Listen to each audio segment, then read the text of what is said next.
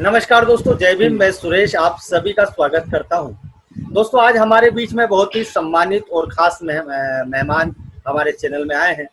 सबसे पहले मैं आपको परिचय कराने जा रहा हूँ। हमारे बीच में है कमलेश सिंह जी, जो कि मध्य प्रदेश भाजपा के प्रशिक्षण विभाग के कार्यकारिणी सदस्य हैं।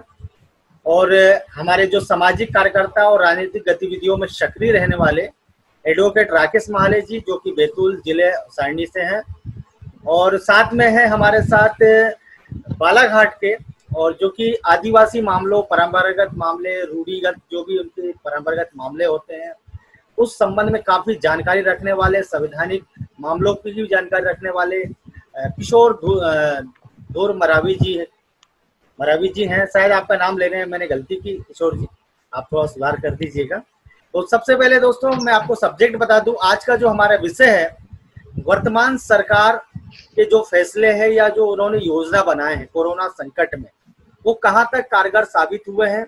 उससे जो वंचित तबका है शोषित तबका है बल्कि आज की डेट में तो सारी मानव जाति उससे पीड़ित हो गई है। उससे निपटने के लिए वर्तमान सरकार ने जो भी फैसले किए वो कहाँ तक उचित है? तो मैं इसका पक्ष रखने के लिए सबसे पहले किशोर जी को मैं आमंत्रित करूँगा जो सरकार की तरफ़ से अपना पहले हाँ सॉरी कमलेश जी को आमंत्रित करूँगा। जो सरकार ने जो फैसले लिए हैं, आप कहाँ तक मानते हैं उचित है? मेरी नज़र में सरकार ने जो फैसले लिए हैं लॉकडाउन का जो फैसला लिया, बिना प्लानिंग का लिया है। आप क्या कहना चाहेंगे देखिए, ये एक वैश्विक आपदा है और कोई भी आपदा बता कर नहीं आती। ये बिना बताई हुई मतलब एकदम से आई हुई आपदा है और बहुत ही कम समय में जितना भी अच्छा निर्णय लिया जा सकता है। कई बार अपने सामने ऐसी स्थिति आ जाती है कि हमारे पास समय का बहुत कम होता है हमें निर्णय बड़ा लेना पड़ता है, लेकिन निर्णय लेना पड़ता है। निर्णय लेने की जो क्षमता है, यह भी अपने अपने एक बड़ी बात है। और जैसे ही हमारे देश के माननीय प्रधानमंत्री नरेंद्र मोदी जी को लगा कि अब ये निर्णय लेना चाहिए, निर्णय बहुत कठिन था, बहुत कठोर निर्णय था और बहुत भारी मन से किसी देश के प्रधानमंत्री ने इस निर्णय को लिया था। उन्होंने 24 घंटे में जो है जनता कर्फ्यू लगाकर और 24 घंटे के अंदर जो है उन्होंने लॉकडाउन का निर्णय लिया और पूरे देश को लॉकडाउन कर दिया। तो मेरे समझ से सरकार का ये निर्णय बहुत सही था। इसके अलावा दूसरा कोई उपाय भी नहीं था, क्योंकि भारत जैसे एक बड़े जनसंख्या वाले देश में इस भयावह बीमारी के संक्रमण को रोकने के लिए लॉकडाउन और तुरंत लॉकडाउन त्वरित लॉकडाउन के अलावा दूसरा कोई उपाय नहीं था। हालाँकि इससे बहुत सारी दिक्कतें भी हुई। देश के लोगों को बहुत सारी कठिनाइयाँ भी हुई लोगों को बहुत सारी परेशानियाँ भी हुई लेकिन यही एकमात्र विकल्प था जिसे प्रधानमंत्री जी ने लिया। जी कमलेश सिंह जी आपने अपनी बात रखी। आ, मैं चाहूँगा कि हमारे जो किशोर जी हैं मरावी जी हैं वो इस पर अपने विचार व्यक्त करें। जो कमलेश सिंह जी जो कह रहे हैं आप सहमत हैं? सर सबसे पहले आप सभी को जैसे हुआ जय भीम जय भारत। जी। हेलो। जी जी जी आवाज़ हाँ। अभी कमलेश जी ने कहा कमलेश जी ने कहा कि इस देश के जो प्रधानमंत्री हैं इन्होंने तुरंत और कम समय में लॉकडाउन का निर्णय लिया। मैं समझता हूँ कि माननीय प्रधानमंत्री नरेंद्र मोदी जी ने कम समय में यह निर्णय नहीं लिया। सबसे पहली बात तो यह कोरोना कोविड 19 जो अक्टूबर महीने में ही पूरे विश्व के अंदर में इसकी पहचान हो चुकी थी। नरेंद्र मोदी जी ने सबसे पहले भारत में कोरोना को लाया। हवाई जहाज़ के माध्यम से, चार्टर विमान के माध्यम से जेड विमान के माध्यम से, और उसके बाद में जब 500 की संख्या हो गई कोरोना पॉजिटिव की इस भारत के अंदर में, जब लॉकडाउन किया, और लॉकडाउन कोई नरेंद्र मोदी की देन नहीं है अगर आप इतिहास के जानकार हैं तो आदिवासी समाज में या रूरल एरिया में जब कोई महामारी होती थी, कोई हैजा या फ्लेक जैसी कोई बीमारी होती थी तो जो आदिवासी लोग थे, आदिवासी क्षेत्र में जो पंडे होते थे, जो उनको पुजारी कहा जाता है, भूमका कहा जाता है, गायतोड़ कहा जाता है, वो उस गाँव की सीमा को लॉकडाउन करता था कि वहाँ का व्यक्ति कोई बाहर ना जा सके और उस गाँव में वो व्यक्ति आ ना सके। ये लॉकडाउन कोई नरेंद्र मोदी की देन नहीं है।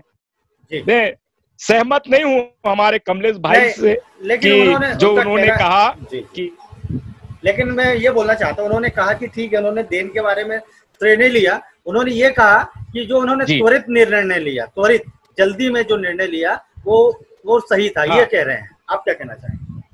नहीं, नहीं त्वरित निर्णय कहाँ ले लिया हम्म। जब अक्टूबर में कोरोना आ गया 500 मरीज़ भारत में मिलने के बाद आपने लॉकडाउन किया। जनता कर्फ्यू की 22 तारीख को ताली और संख और घंटी बजाई, फटाके फुड़वाए, आतिशबाजी करवाई दूसरी, जो 21 दिन की जो लॉकडाउन में आपने दिए जलवाए मतलब हमने क्या स्वागत किया? जब हम किसी का अभिवादन करते हैं तो हम तो कोरोना का अभिवादन कर रहे ताली बजाकर।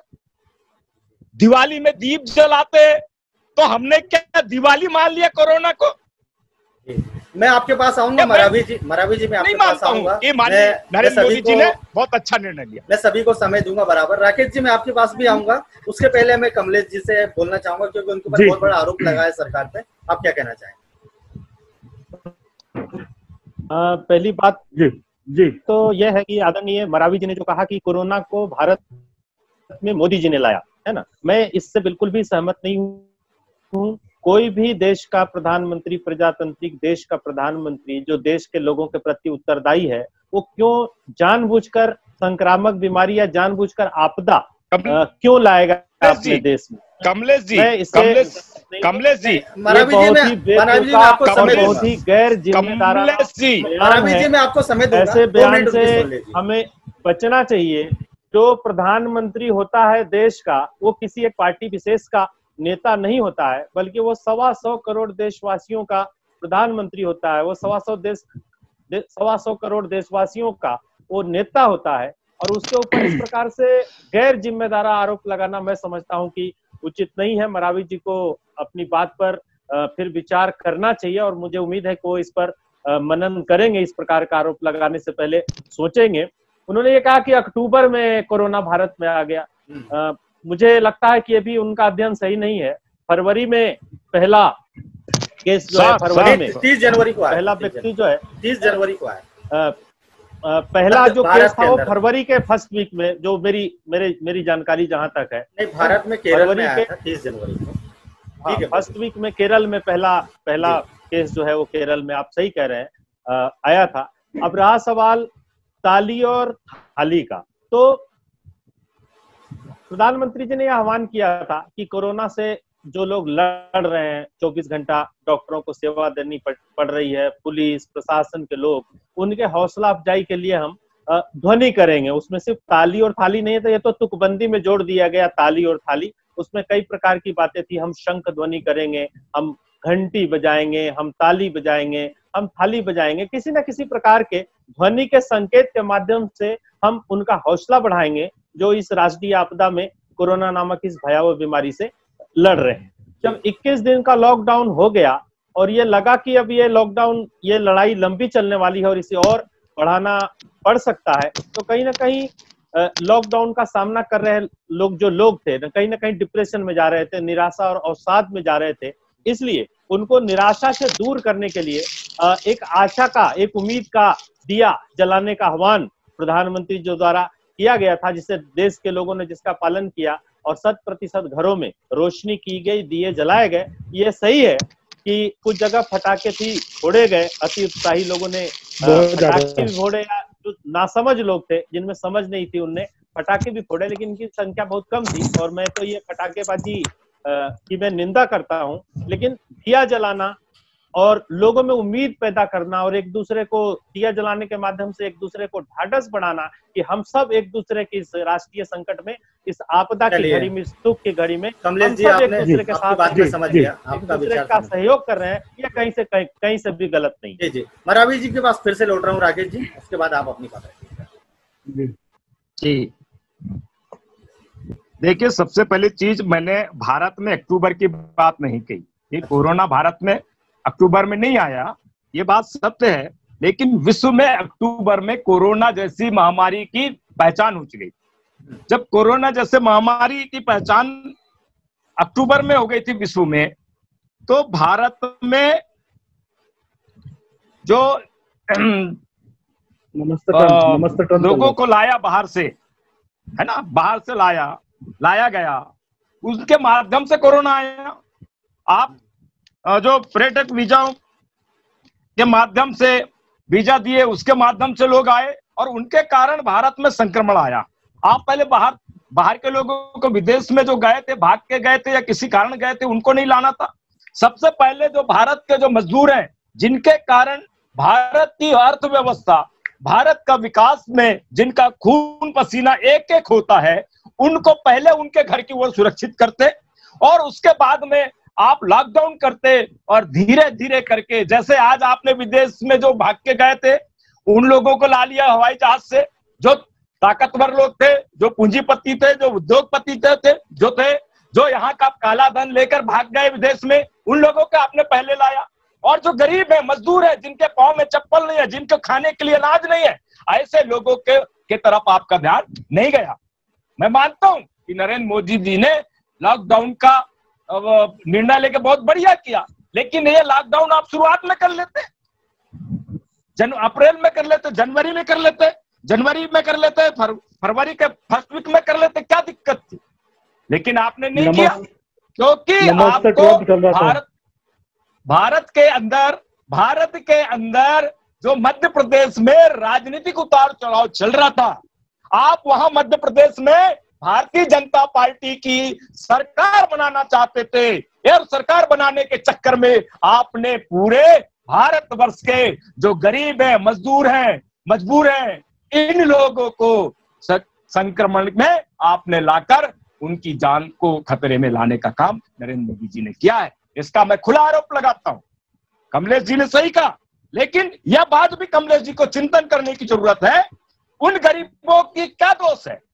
जो आपके भारत में नरेंद्र मोदी जी के अच्छे दिन के लालच में नरेंद्र मोदी जी को इस देश का प्रधानमंत्री बनाने में यही गरीब मजदूर सबसे आगे आया था। आपने उनकी चिंता नहीं करी? जो लोग, जो नरेंद्र मोदी है, जो आपका है, उनकी चिंता आपको है। लेकिन उन गरीब आदमी की चिंता नहीं है जो आदिवासी है, दलित है, पिछड़े वर्ग का है, जो किसान है, मजदूर है। आज उनको ये दो महीने के अंदर में आज उनके साथ में जो परिस्थितियाँ हैं, वो कैसे भुखमरी से जी रहे हैं, उनका जीवन यापन कैसा होगा, इस पर आपको चिंता करनी चाहिए। जी मरावी जी, आपने बहुत ही मतलब मार्मिक बात कही मजदूरों के प्रति। उनकी तस्वीर देख के भी हमें भी ऐसा लगता है, निष्पक्ष अगर हम कहें तो कहीं ना कहीं सरकार इस मामले में तो फेल हुई है कि सरकार ने मजदूरों के लिए अचानक लॉकडाउन करने की ज़रूरत नहीं थी। जिस प्रकार से मध्य प्रदेश की सरकार, राजनीतिक घटना उठा पटक चल रही थी तो कहीं ना कहीं हमें ऐसा लग रहा है कि राजनीतिक फ़ायदे को देखते हुए इंतज़ार किया गया। सबसे पहले मध्य प्रदेश की सरकार को हटा लिया जाए उसके बाद ही कोई फैसला लेंगे। राकेश जी मैं आपके पास आता हूँ आप अपनी बात को शुरू कीजिए उसके बाद मैं कमलेश जी के पास आऊँ। धन्यवाद पासवान जी। आ, मेरा एक सवाल है कि इसके पहले भी तो, तो हमने नोटबंदी का कार्यकाल भी देखा और अभी कोरोना महामारी में हम ये देख रहे हैं कि देश का जो मजदूर की मजदूर है आज वो सड़कों पर भूखों मरने के लिए परेशान है टैक्स लेते हैं। जिस जनता से आज हम टैक्स लेते हैं पूंजीपतियों का टैक्स माफ़ करते हैं। और जिस जनता से हम ओरिजिनल टैक्स लेते हैं आज वो भूखे मरने के कगार पे अगर मोदी जी ट्रेन पहले से ही चालू रखते तो अभी ट्रेन चालू करने की ज़रूरत नहीं पड़ती। तो इतना गरीब आज परेशान है फिर भी सहानुभूति बिल्कुल भी नहीं है सहानुभूति। और बिल्कुल ही देश के अंदर आप जो माहौल है एक सेवेंटी परसेंट जो मजदूर किसान है आज कितना परेशान है इसकी स्थिति। आप देखिए तो गलती किसकी अपनी गलती मानना चाहिए कि हाँ मेरे से गलती हुई। मोदी सरकार को बनना चाहिए। और मध्य प्रदेश की सरकार जो है वो तो जबरन की सरकार है। उन्होंने जबरन में अपनी सरकार बनाई और सरकार बनाने के बाद आज की जो है ठीक प्रकार से काम नहीं कर रहे और उपटांग काम कर ये मेरा आरोप है। बोलिए कमलेश आप पे हाँ, चारों तरफ़ से हमले हो रहे हैं? आ, मैं मरावी जी मरावी जी के बातों को भी मैंने बहुत ध्यान से सुना और हमारे युवा साथी राकेश महाजी की बातों को भी मैं बहुत ध्यान से सुना। आ, चर्चा सिर्फ़ कोरोना संकट पे चल रही है और कोरोना संकट के बाद जो देश में परिस्थितियाँ उत्पन्न हुई है उस पर चर्चा चल रही है लेकिन हमारे मित्र जो है कभी कभी विषयांतर कर दे रहे हैं विषय चेंज कर दे रहे हैं कभी उसमें नोटबंदी ला ले रहे हैं कभी शिवराज सिंह की जो सरकार बनी है उस मामले